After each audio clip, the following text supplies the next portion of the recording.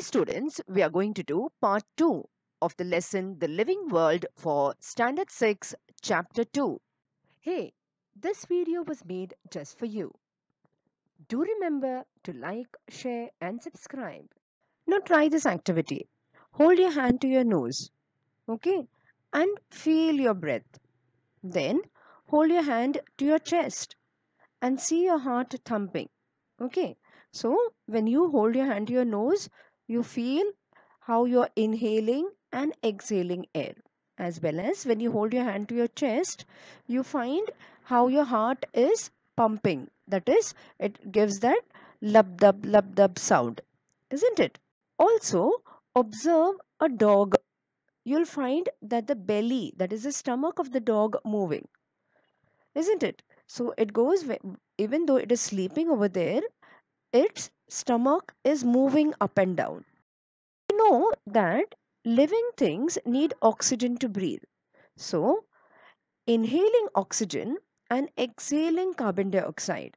That is, we when we inhale air, we are inhaling oxygen inside our body. And then carbon dioxide is produced, which we exhale out.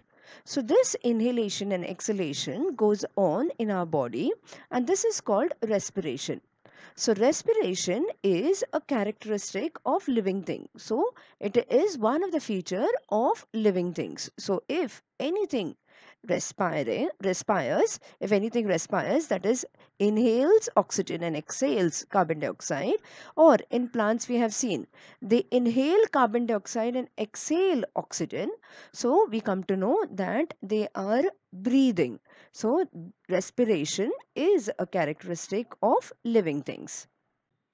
Now, most of the animals, including we human beings, use lungs for breathing. But there are other animals like the fish, the snake, the frog that they use different parts of their body or different organs to breathe.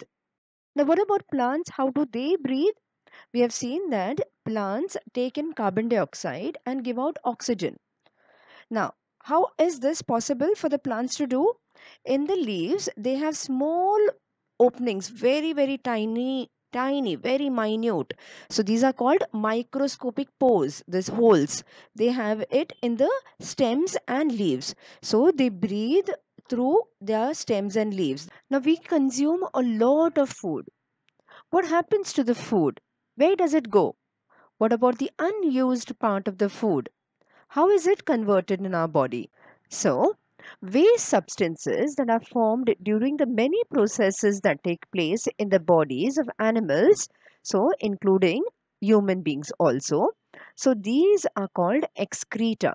Okay, so the unused part of the food, that is the food that we consume and the body doesn't require, that is, it takes all the nutrients. And then the leftover part of the food is called the excreta. Now, this is eliminated from our body and is called excretion. So all animals have specific organs for excretion. Now we often find sticky substances that come out of the bark of the of a tree or from a branches of the tree. So what is the sticky, sticky substance? So this is nothing but the excreta that is the unwanted part of the plant or the tree which it throws it out. So this is their way of excretion that is throwing out the unused part of the food or the nutrients that they have taken inside. So that is how they will excrete. Now try this activity. Take a transparent plastic bag and tie it over a leaf of a plant as shown in the picture. Observe it after 6 to 7 hours. Now what do you see? You will find tiny droplets of water on the bag. Okay. So this means that some substances uh, from the leaves has been thrown out from the plant. So this tells us that even plants excrete water in the form of water vapor. So this tells us that even plants excrete, not only animals but plants also throw out the unwanted part of the food that they have produced. Now, some plants we know that they shed their leaves in the specific season, that is during the autumn season, they will shed their leaves, all the leaves fall off.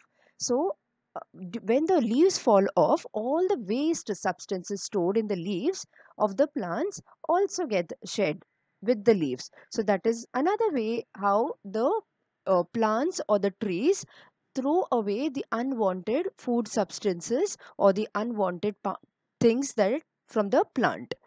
Now let's observe and discuss the following. Have you experienced this? Do you remember what happened immediately after the following actions?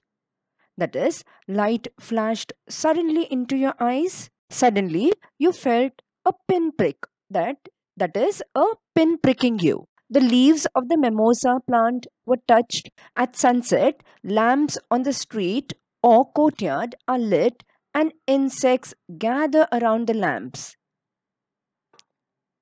So, why do you think all these actions happened?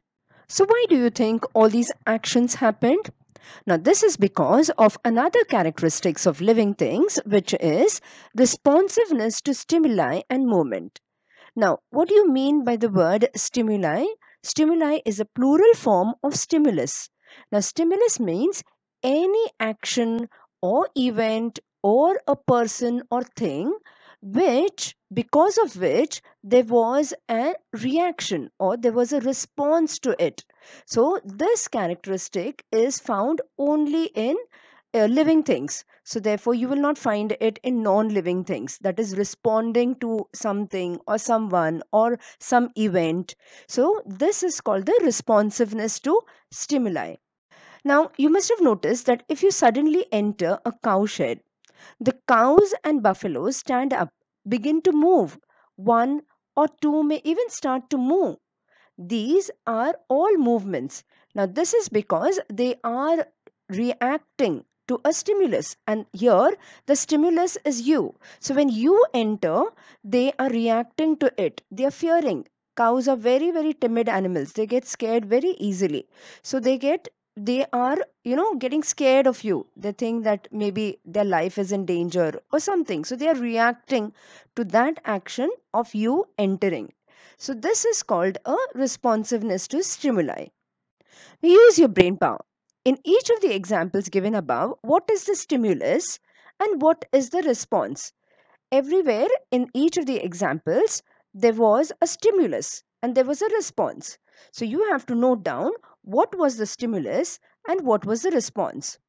Now, what is the main difference between the movements of plants and animals? We have seen that plants as well as animals move and they respond to stimulus. So, what is the main difference between the two? To check your answers, you may visit our website at jkacademypro.com. Now let's learn more about this responsiveness to stimuli and movement. Now, if a creeper plant is kept in the courtyard, it leans towards a support. Okay, so it will try to find a support. So it will move towards a support. So that is called the responsiveness of the creeper plant to a stimulus. Now, in the same way, a potted plant placed in a window grows towards the sunlight. So, if you have kept it little inside, it will start moving and going outside the window towards sunlight. So, it means that plants to show movement. Now, living things move on their own accord. Nobody is moving it. So all living things, whether it's plants, whether it's animals, even plants, you know, they're moving towards sunlight, they're moving towards the support. So even the roots go deep into the soil in in search of nutrients, in search of water. So that is also a stimuli that happens in plants as well as animals. So all living things show this characteristics of responding to a stimuli. So, the movement or the change taking place in a living thing at such a time is the response to a stimulus. So, any change that takes place because of some event, some action. So, that is called the responsing, response to the particular movement or particular action. An event that occurs in our surrounding is a stimulus. So, any action, any event that happens in our surrounding is called a stimulus and the ability of the living things to respond to a stimulus. So, any movement that happens, any action that happens, any event that happens, and we respond to it. Any in any way we respond. Maybe we may respond physically, or may we may respond, you know, uh, by thinking about something. So, if there is a lecture going on and you are listening to it, so you respond by thinking about it. So, that is also a, a, a, a responsiveness to stimuli. So, the ability of living things to respond to a stimuli is called their responsiveness to stimuli. Okay, so this is a characteristic that we find only in living things. Do solve the textual exercise. And to check the answers for the textual exercise and for more free worksheets, please visit our website at www.jkacademypro.com. End of part 2. For a complete lesson, do what all the other parts.